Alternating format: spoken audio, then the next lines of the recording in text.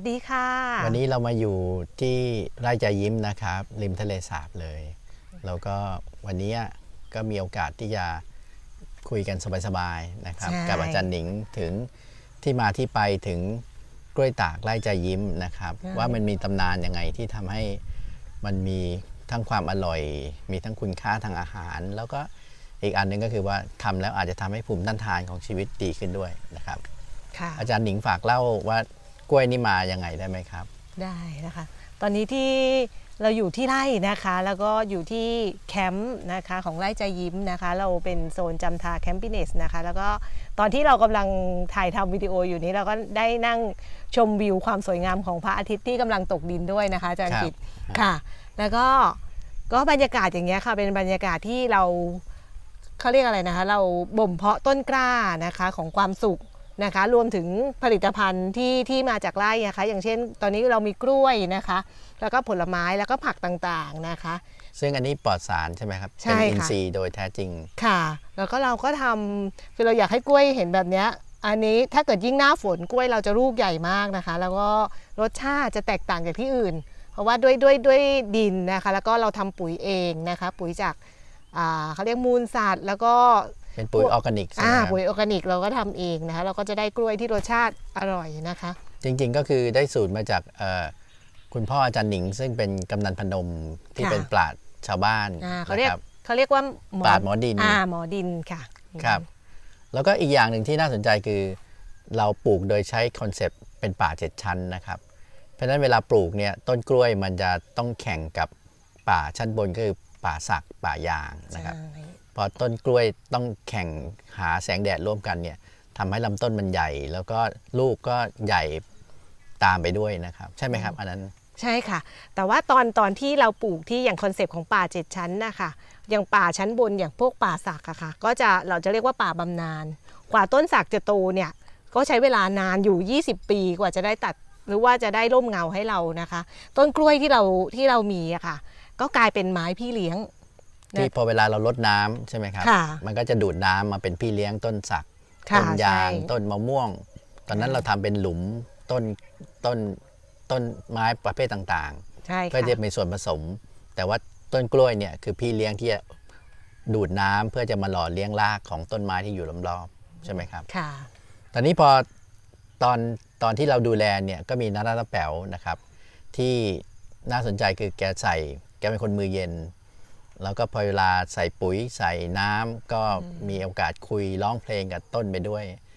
ตอนหลังอาจารย์นิงเห็นซื้อลำโพงอย่างดีมาให้น้าแป๋วใช่ไหมครับค่ะเวใช่ลาค่ะดูแลต้นไม้เนี่ยก็รู้สึกว่าเปิดเพลงไปด้วยเลยอืม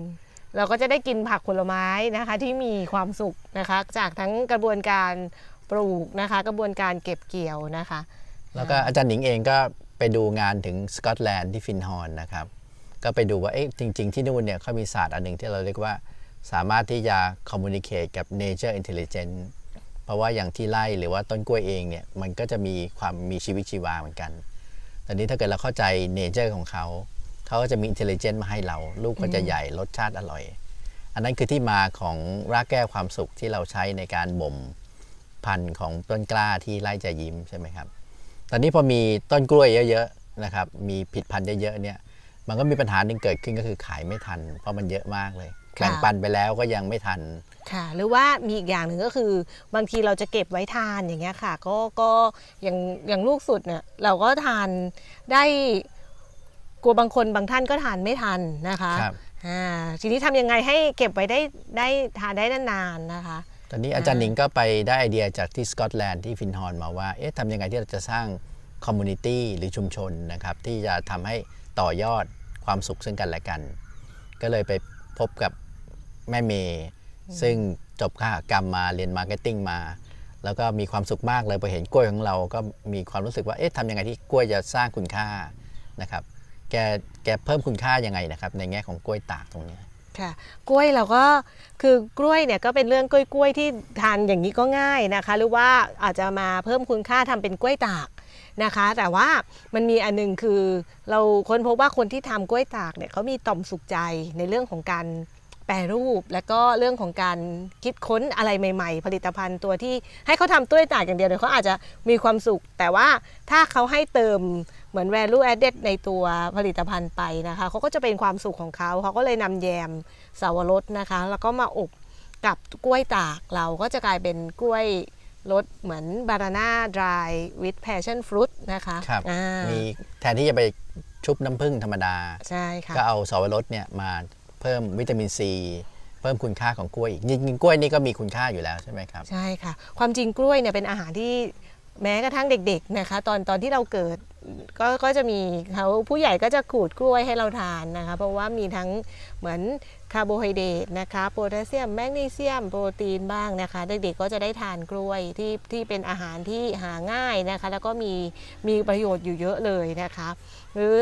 แม้กระทั่งนักกีฬานะคะก็ก็ทานได้นะคะ แล้วก็ป้องกันพวกตะคิวพวกอะไรด้วยนะคะ หรือว่า จะให้เป็นเป็นอาหารบางคนก็เอาไปเอากล้วยตากไปใส่ cornflakes ทานตอนเช้าก็เพิ่มเพิ่ม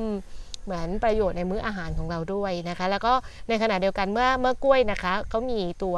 แมกนีเซียมโพแทสเซียมใช่ไหมคะที่มีโบสูงนะคะ บางคนก็ทานแล้วก็จะช่วยลดความดันได้ด้วยนะคะ แต่ว่าต้องทานในปริมาณที่เหมาะสมนะคะครับอ่าถ้าเกิดอร่อยมากบางคนบอกว่าทานกล้วยตากแล้วเพลินนะคะ ก็กล้วยตากหนึ่งลูกเนี่ยก็เท่ากับทานกล้วยน้ำว้าหนึ่งลูกนะคะ เวลาทานคือบางบางคนทานเพลินนะคะ ถ้าคนที่มีโรคประจำตัวความดันเบาหวานหัวใจก็คือทานในปริมาณที่นะพอดีนะคะ วันหนึ่งสามลูกนี่ก็ถือว่าเยอะเหมือนกันนะคะอ่าเห็นเมื่อก่อนอาจารย์หนิงเอากล้วยตากไปผสมกับสมูทตี้เพิ่มค่ะภูมิต้านทานด้วยใช่ไหมครับค่ะเป็นสูตรของอาจารย์ชาตรีที่เป็นผู้แต่งหนังสือ Think Slim เนี่ยเอ่อตอนนั้นอาจารย์หนิงเอากล้วยไปผสมกับ Pre and Probiotic ยังไงนะครับ เพื่อเพิ่มไอ้ภูมิต้านทานให้ร่างกายเราตอนเนี้ยฮะคือช่วงนี้เป็นเป็นช่วงที่ มีโรคนะคะเข้ามาเยอะนะคะ แล้วก็ดังนั้นถ้าเกิดว่าโอเคว่าเราป้องกันภายนอกแล้ว แต่ว่าภายในจะทำยังไงให้เรามีเรียกว่าภูมิต้านทานในตัวเรานะคะ เราก็อาจารย์ชาตรีก็จะมีสูตรนะคะที่ที่เป็นอ่าเหมือนทานแทนหนึ่งมื้ออาหารก็ได้นะคะ เป็นสมูทตี้นะคะ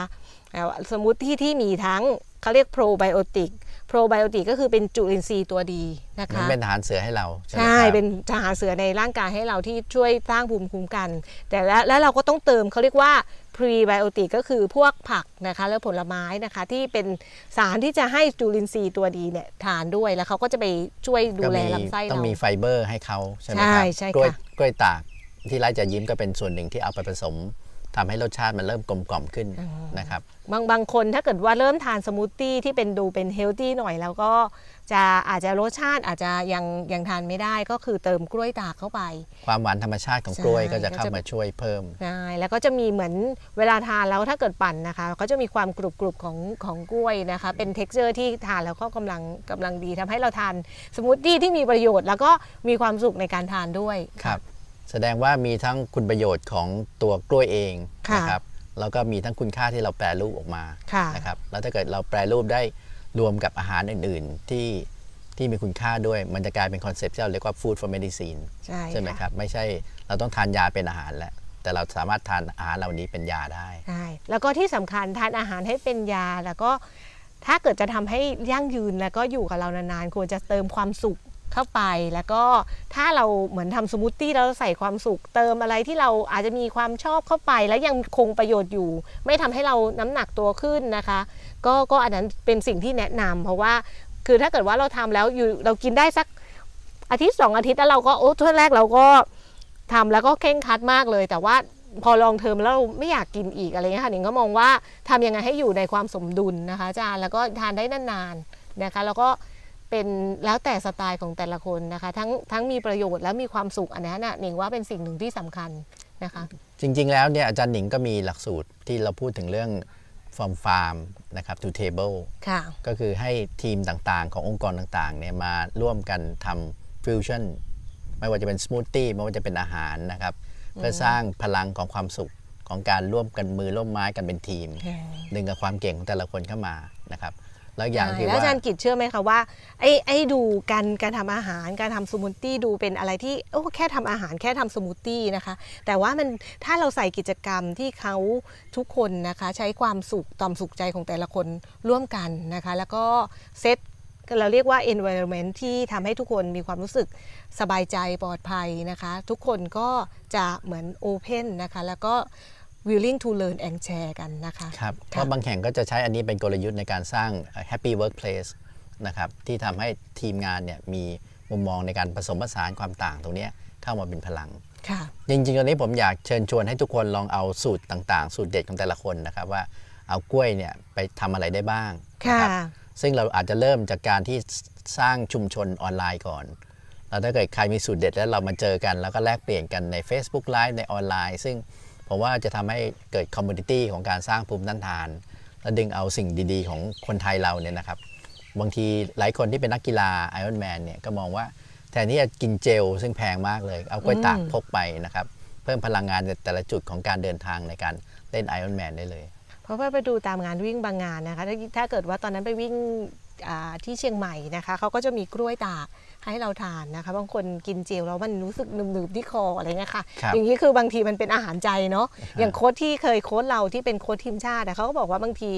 กินเจลก็ดีได้พลังงานเต็มที่ แต่ว่าพอพอถึงระยะที่มันมันเริ่มหมดทั้งพลังแล้วหมดทั้งแบบความรู้สึกมันจะเอ้ยมันจะฮิตเดอะวอลเลยใช่ มันจะถึงหรือไม่ถึงยังไงแล้ว เออ ถ้าเกิดว่าได้ได้ได้อะไรที่มันเป็นอาหารใจบ้างอะไรเงี้ยค่ะ มันก็มีความสุขดี แล้วก็มันก็ทำให้เราแบบ ยังไงเราก็ต้องไปให้ถึงอะไรเงี้ยค่ะก็เป็นอีกหนึ่งกลยุทธ์เนาะอ่าค่ะก็อยากเชิญชวนให้ทุกคนมาร่วมกันสร้างเมนูเด็ด ๆ เมนูดีอ่าๆนะครับแล้วเรามาแชร์กันแล้วเดี๋ยวลองดูซิว่าจะมีกิจกรรมที่มาจัดที่ไร่หรือว่ามาแชร์ร่วมกันที่องค์กร ผมว่าน่าจะเป็นสิ่งที่กระตุ้นให้เรามีภูมิต้านทาน ไม่ว่าจะเป็นทั้งร่างกายและจิตใจนะครับ มีความสนุกในการดึงเอา อาหารให้มันเป็นยาขึ้นมาใช่แล้วก็อาหารที่เป็นอาหารใจ แล้วก็อันนี้ดูดูอาจจะเป็นเรื่องกล้วยๆนะคะ แต่ว่ามันมันมันมีอะไรที่อยู่ในในแฝงไปด้วยเนื้อหาสาระอยู่ในนี้เนาะเนื้อหาสาระแล้วก็มันมีสตอรี่นะดูดีนะมีสตอรี่แต่ว่าก็ก็เป็นเรื่องราวที่สื่อสารมาอ่าจากไร่ใจยิ้มนะคะ แล้วก็ community ของไร่นะคะ ก็ก็อยากจะสื่อสารออกมาเป็นในรูปแบบของความสุข แล้วก็เป็นรอยยิ้มที่ความจริงคนไทยเรามีอยู่แล้วค่ะอาจารย์ครับแล้วก็คนที่มาเนี่ยเราเราพื้นที่ไร่ของเราเนี่ยคือเป็นที่ที่ดูดูตอนแรกดูเข้ามาสัมผัสเนี่ยโอ้ถนนหนทางอะไรเงี้ยอาจจะดูแบบ เอ๊ะมันมันคืออะไรแต่ว่าพอเข้ามาสัมผัสนะคะ แล้วก็เมื่อเขาได้ได้เข้าไปถึง เราเรียกว่าลากแก้วแห่งความสุขของเขา นะคะอันนี้เป็นสิ่งหนึ่งที่สำคัญไล่เราอาจจะไม่ได้ไม่ได้ให้อะไรแตกต่าง แต่ว่าเขาจะเข้ามาค้นพบลากแก้วของตัวเขาเองนะคะดูน้องหมาแล้วก็หมาอยากเข้าด้วย เป็นลากแก้วแห่งความสุขของเขานะคะอันนี้คือเป็นพื้นที่ที่เปิดให้ทุกคนเข้ามาค้นพบตัวเองนะคะแล้วก็เป็นธรรมชาติที่มันอาจจะเรียบง่าย แล้วก็ดูธรรมดาแต่อาจจะมีอะไรซ่อนอยู่ในนั้นก็ได้ค่ะอาจารย์ครับค่ะวันนี้ก็